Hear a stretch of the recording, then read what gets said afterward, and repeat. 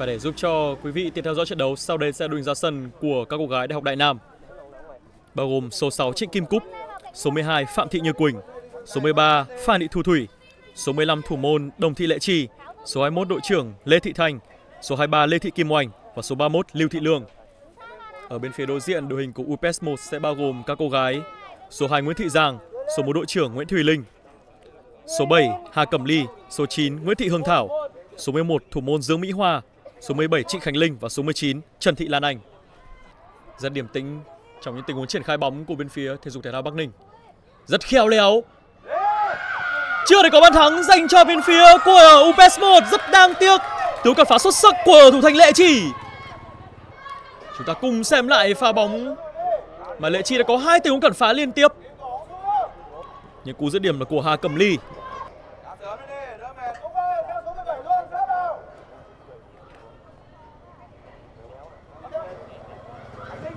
Thêm một cú dứt điểm nữa của bên phía các cô gái UPS 1 và đã có bàn thắng mở tỷ số. Một tình huống dứt điểm rất căng từ phía bên ngoài vòng cấm.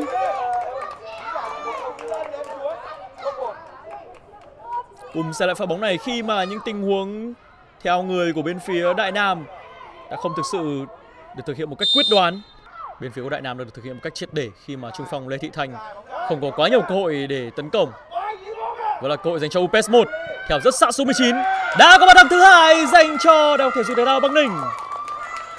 Một tiếng phòng ngự hơi hớ hênh của bên phía UPS 1. Người ghi bàn đó là số 7 Hà Cẩm Ly. Một tình huống chiếm lĩnh không gian và chọn vị trí quá tốt của Cẩm Ly. Nỗ lực thoát xuống đáy biên của số 19 Trần Thị Lan Anh là cũng rất tốt. Vượt qua được sự truy cản của hậu vệ đối phương. vẫn là cội dành cho bên phía của UPS 1. Kim Cúc, đoạt bóng tốt. vẫn là cội dành cho UPS 1. Cơ hội dứt điểm từ tuyến 2. Bàn thắng thứ ba dành cho UPS 1. Và người ghi bàn lại là đội trưởng Nguyễn Thùy Linh. Cú vung chân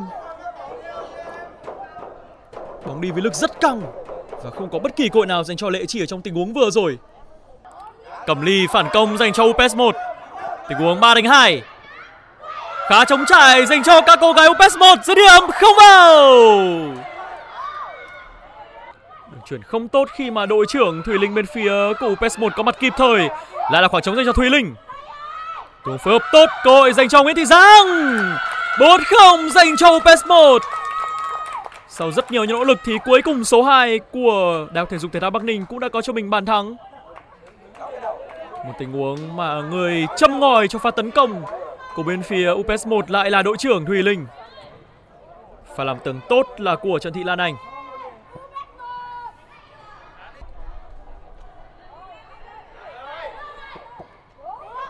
Cẩm Ly có bóng. Cội hội dành cho UPS 1 dứt điểm ngay. 5-0 Cú đúp của Cẩm Ly. Cú dứt điểm rất căng từ ngoài vòng cấm của Cẩm Ly Và đó là một tình huống chuyền bóng sai địa chỉ Của Kim Cúc. Cú sút rất căng. Cẩm Ly. Và là cơ hội dành cho bên phía UPS 1 Rất nhịp nhàng, Cẩm Ly có cơ hội. Cú dứt điểm ngay. Suy chuyển nữa thì Cẩm Ly đã có cơ hội tung ra cú dứt điểm. Và hy vọng mang về hat-trick cho bản thân ở trận đấu ngày hôm nay. Ngay sau đó là cú dứt điểm. Hơi vội vàng Bên phía của UPS 1 Cơ hội dành cho bên phía của Đại Nam. Quá đáng tiếc với cú dứt điểm vừa rồi của đội trưởng Lê Thị Thành. Khoảng trống đã mở ra. Không có bất kỳ cái bóng áo vàng nào theo kèm Lê Thị Thành ở trong tình huống vừa rồi, Nhưng đáng tiếc rằng cú đá nối Lại không thực sự chính xác. Bóng đi không trúng tâm bóng ở trong tình huống vừa rồi. Rất nguy hiểm, Rất nguy hiểm. Đã có bàn thắng tiếp theo dành cho Cẩm Ly Và đó là hat-trick của số 7 bên phía của UPS 1 Một tình huống xử lý bóng sai lầm. Của thủ thành Lệ Chi cũng với bên đó là số 13 Phan Thị Thu Thủy. Lan Anh Giật lật léo, Vỡ Lan Anh. Thùy Linh, Lan Anh và Cẩm Ly đang tách ra. Cẩm Ly, Cú dứt điểm của Thùy Linh, Không thành công, Cú dứt điểm thứ hai. Nhưng cú dứt điểm từ ngoài vòng cấm của Thùy Linh vẫn là một thứ vũ khí cực kỳ nguy hiểm. Kim Cung đã không thể theo sát bóng trong tình huống vừa rồi nhưng đó là phản xạ tốt của thủ thành Như Quỳnh. Nguyễn Thị Giang không vượt qua được chốt chặn Lê Thị Thành. Vẫn là cơ hội dành cho Đại Nam. Cội dễ dứt điểm ngay, không vào. Quá đáng tiếc với pha dứt điểm vừa rồi của anh Tuyết, một tình huống xử lý khá tốt. Với pha đỡ bước một để tạo ra đà bắt vô lề. Cú sút là khá căng rồi nhưng mà phản xạ vừa rồi là của Dương Mỹ Hòa. Khả năng pressing của bên phía UPS 1 là rất tốt khi hạn chế những đường truyền trả ngược lại dành cho bên phía của các cô gái Diedu Thúy Linh, Lan Anh, cơ hội dứt điểm không thành công, một tình huống cản phá tốt của Như Quỳnh.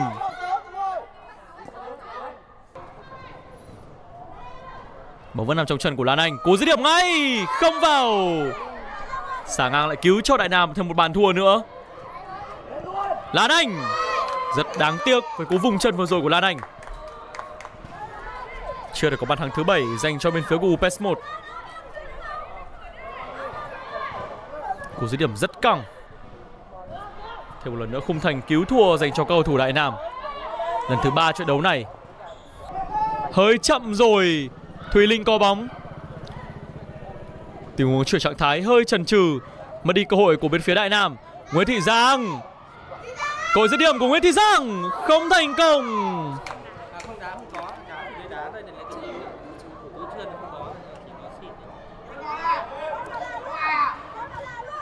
Nỗ lực của Nguyễn Thị Giang là không thành công với cú dứt điểm vừa rồi.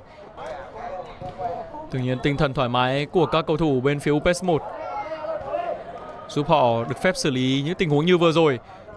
Lan Anh chuyển bóng cho Thùy Linh. Bàn thắng dành cho đội trưởng bên phía của UPS 1. Và đó cũng là cú hat-trick của Thùy Linh rồi. Đã có tới hai cầu thủ bên phía UPS 1 có được hat-trick ở trong trận đấu ngày hôm nay. Đó là Cẩm Ly và bây giờ là Thùy Linh.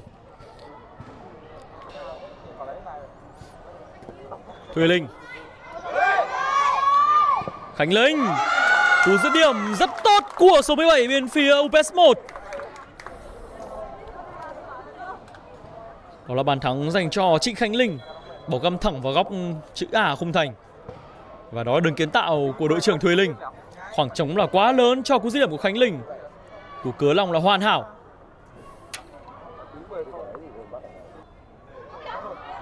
Đường chuyển không tốt của anh Tuyết dành cho UPS 1 Thùy Linh Khoảng trống dành cho UPS 1 Thiên Trang không thể ngăn cản tình huống bóng vừa rồi, Vẫn là cơ hội dành cho Đại thể dục thể thao Bắc Ninh. Cội dứt điểm ngay! Đã có bàn thắng dành cho số 30 Trương Thị Mỹ Duyên.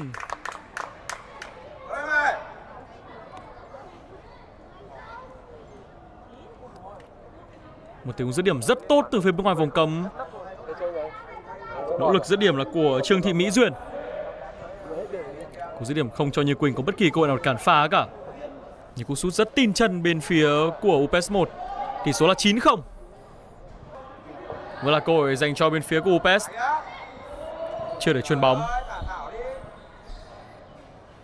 Rất điềm tĩnh.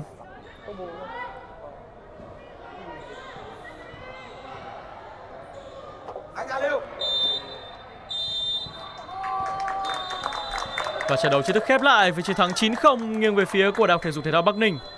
Một chiến thắng hủy diệt và giúp cho UPS níu kéo cơ hội có cho mình tờ vé vào vòng trong. Họ sẽ đối đầu với Phù Đồng Bến Tre cho trận đấu chung kết ở lượt trận cuối cùng vòng bảng của bảng B.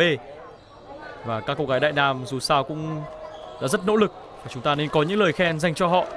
Và chúng ta sẽ tạm nghỉ ngơi trong vài phút trước khi quay trở lại với những diễn biến của lượt trận thứ hai trong buổi chiều ngày hôm nay.